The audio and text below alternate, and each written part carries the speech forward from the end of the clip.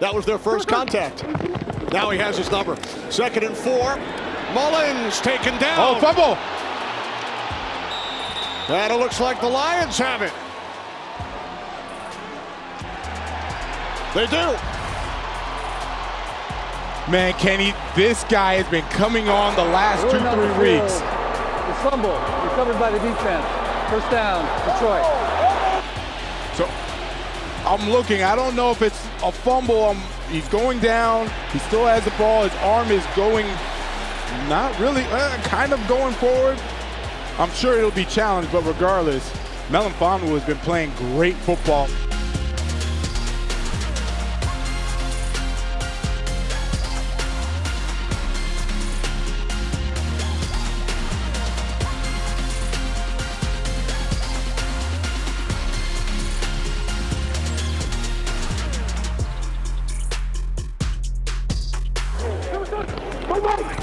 On second and 10. Mullens under pressure. Down he goes. That's Melifonwu once again, his second sack today. Now, this is the, the problem with trying to continue to go with that empty personnel and then bring the running back back in. They have an automatic check for it. So we've seen it the first series, second series. Now they're over that. You go empty, bring the guy back in. Melifonwu checks to an automatic blitz because it goes against their pass protection. Nick Mullen has no chance. And another nice defensive play, dialing up the pressure by the Detroit Lions.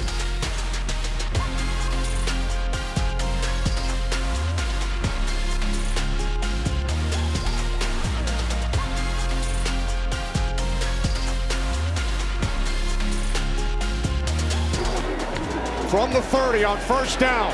Mullens steps up. He throws. It is picked off. Melifonwu with the exclamation point for the Detroit Lions today.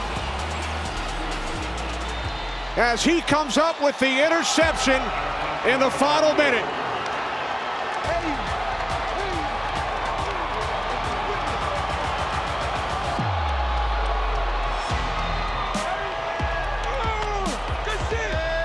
Man, Justin Jefferson played as hard as he could play. Nick Mullens with his fourth interception. And what you're going to see from Justin Jefferson is he goes out, then breaks back in. Nick Mullens does a great job sliding up in the pocket. The ball just got away from him. He throws a duck. You see a wobbly ball out there. Had he been able to actually put some heat on that football, he would have had a completion to Justin Jefferson. Instead, it just lags out there, and Melifonwu, who's going to be a starter for a long time in this league,